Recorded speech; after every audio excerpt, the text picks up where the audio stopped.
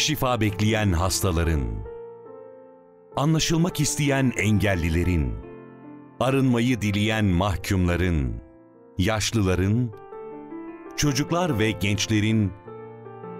Sıcak bir nefes, merhametli bir dokunuşla, candan bir gülümseme, hikmetli bir sohbetle, insanların zor zamanlarına ortak olmaya talip, hayata dokunanların bu haftaki bölümünde Diyanet İşleri Başkanlığı Erzincan İl Müftülüğü'nün manevi destek alanında yaptığı hizmetler yer alıyor.